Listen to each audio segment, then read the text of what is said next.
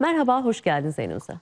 Merhabalar, hoş bulduk. Sağ olun. Evet, e, araştırmaya imza atan bilim adamları böyle diyor ama bu zenginlikle 24 altın gen denilen genler arasındaki ilişkiyi e, siz nasıl yorumluyorsunuz? Bir de sizden dinleyelim. Evet bir kere bugün bizim için çok önemli bir gün. Ee, inşallah sizlerin de sabahtan beri yayınınızda söylediğiniz gibi güzel bir seçim sonucu bekleyecek bizleri. Vatana millete hayırlı olsun diyerek e, konuşmaya başlayayım ben de. E, şimdi e, demin haberinizde de çok güzel özetledim. E, aslında bu bir yaşlanma merkezinde yapılan e, özellikle hücresel ve bireylerin yaşlanmaya yönelik e, veya yaşlanmayı geciktirme ile yapılan bir çalışmanın alt verileri diye özetleyebiliriz.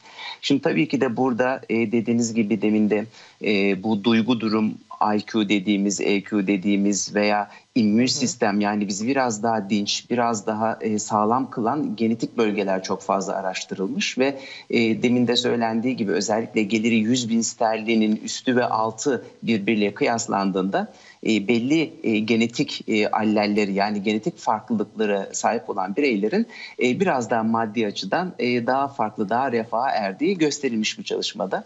E, tabii şimdi bu çalışmaya baktığımız zaman şu da akla geliyor. Acaba aileden mi kaynaklanan bir e, e, şey zenginlik diyelim bir maddi gelir mi var? Tabii ki de bunun bir kısmı da aileden kaynaklanıyor. Yani aslında çalışmada belirtildiği gibi her şeyde aslında genlere bağlamak e, bizi yanıltabilir. Yani çok iddialı bir e, söylem olur. Yani aileden de olabiliyor ama tabii, tabii. ki bütünüyle. Çünkü e, bu haberi, bu gelişmeyi e, okuyup izleyip birçok kişi e, şunu sorabilir. Aynı aileden gelip de aslında farklı farklı yollara e, savrulan e, ve farklı zenginlik e, şeylerine, ölçülerine sahip olanlar da var. Biri niye zengin, biri niye fakir, biri niye almış yürümüş çok zengin olmuş, biri fakir kalmış da diyebilir tabii. Bu sorunun cevabını da siz vermiş oldunuz böylece. Peki e, böylesi bir araştırmanın sonucu e, nasıl etkiler acaba bundan sonra bu konuya yaklaşımı ya da bilim adamlarının bu konuyla ilgili bundan sonra gelecekteki çalışmalarını, gen çalışmalarını ne dersiniz? Şimdi tabii ki de e, biz hep özellikle duygu durum gibi hı hı. E, kişilerin mizacını olsun, davranış kalıplarını biz de yıllardır çalışıyoruz. Hatta çok enteresan biz bir çalışma yapmıştık Marmara Üniversitesi, Üsküdar Üniversitesi, Namık Kemal Üniversitesi ve Trakya Üniversitesi ile beraber.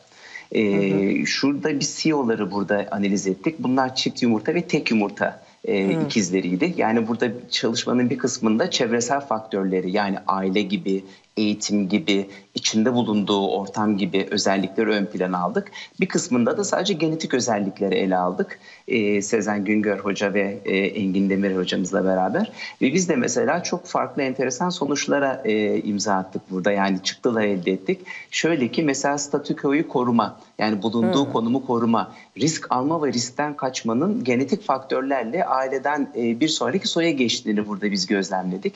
Yani burada bizim bazı özelliklerimiz, evet girişken olma mesela, e, bunlar bizim e, davranış kalıplarımızı etkilediği için e, kimi durumlarda zenginlikle örtüşebiliyor. Ama tabii ki de her girişimcilik veya her e, etkinlik e, maddi sonuçlanacak, güzel anlamda sonuçlanacak anlamına da maalesef gelmiyor. Ama tabii ki de bunlar e, büyük bir veri topluluğu yapılması gerekiyor. Yani burada e, çevrenin çok iyi elimine edilmesi lazım, gelir grubunun çok iyi, iyi elimine edilmesi lazım. Hani demin de söylediğimiz gibi şimdi aileden hı hı. Zaten maddi durumu rahat olan bir insanlar hı hı. ve onlar aynı gen soyuna sahip olacağı için hani bu tip veriler çalışmaya aslında yanlış yorumlamamıza sebep olabilir. Ama tabii ki de gene söylediğim e, bazı gen gruplarına sahip bireyler biraz daha aktif karar alabiliyorlar. Hı hı. Biraz daha öngörüleri daha farklı olabiliyor ve kaygı merkezi hı hı. bozukluğundan daha uzak bireyler daha etkin, daha aktif e, atılımlarda gerçekleştirebiliyorlar.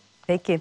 Çok teşekkür ediyoruz. Doçent Doktor Korkut Solucan katıldığınız için. Ben teşekkür ederim. İyi yayınlar. Sağ olun. Şimdi çok kısa bir